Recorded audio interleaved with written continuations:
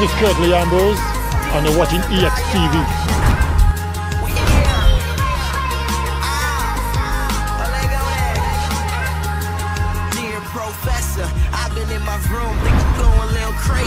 Hey everyone, this is Andre Sooklal of Extra Time TV and we're down in Barrackpore where legends Brian Lara and Daren Ganga are playing off in a little friendly match behind. As you can see the guys behind there.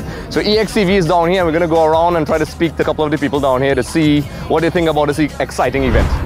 Okay, so here we are with someone who does not need any introduction, Mr. Curtly Ambrose himself. When I was younger, I used to try terribly to bowl like you, but unfortunately I ended up playing football instead. So we're here at this lovely event, Daren Ganga and Brian Lara. What do you think about the event and the atmosphere so far?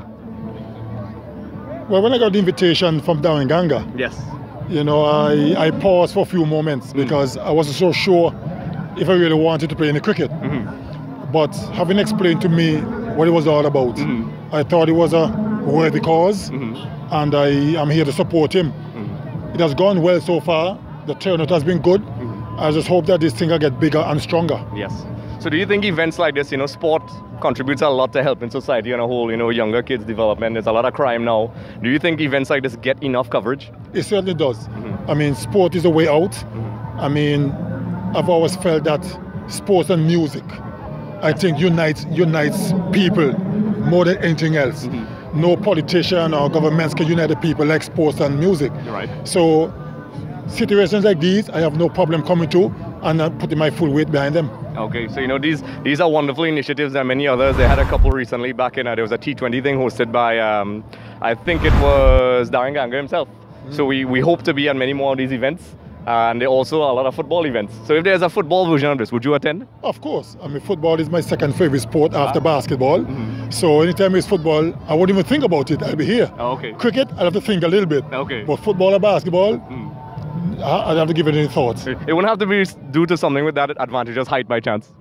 Well, it's just something I've always grown to love from a very early age. Yeah. You know, so uh, basketball and football are my favorite sports. Okay, so I'm going to throw you a few curveballs because since you're talking about basketball, is there a particular player that you like? I liked uh, Jabbar from back in the day. I was a little kid, and I used to actually compare him to you. So is that, you know, who's one of your favorite well, players? Well, if you're going way back in the past, yeah. you know, um, I'm young, but I Ju- know what Julius Erving, oh, yeah, who's probably yeah. known as Dr. J. Yeah, yeah. He's always been my favorite way back when. Okay. And if you want to move forward, you got guys like Michael Jordan, mm. Magic Johnson, and yeah. Dominique Wilkins, oh, and okay. Charles Barkley. Those are my all-time favorites. Mm. The present day crop, the younger guys, there are quite a few guys I like, but I'm from the I'm from the old school, oh, so okay. I'll stick with the old boys. Yeah, you can't touch the old school. so you know what? It's like, this is a wonderful event. Who do you think you know they're chasing the game right now? Do you, do you think it's going to be a massive comeback?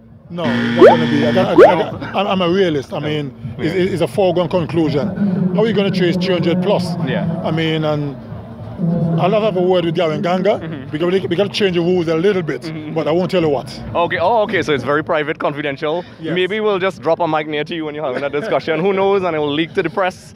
So it's a pleasure, it's an honor speaking to someone like yourself yeah, and to have you at events like this. And you know, enjoy your stay down South Trinidad. I said we'll enjoy my stay. All right. Thank you. Good man. All right. Uh, cool.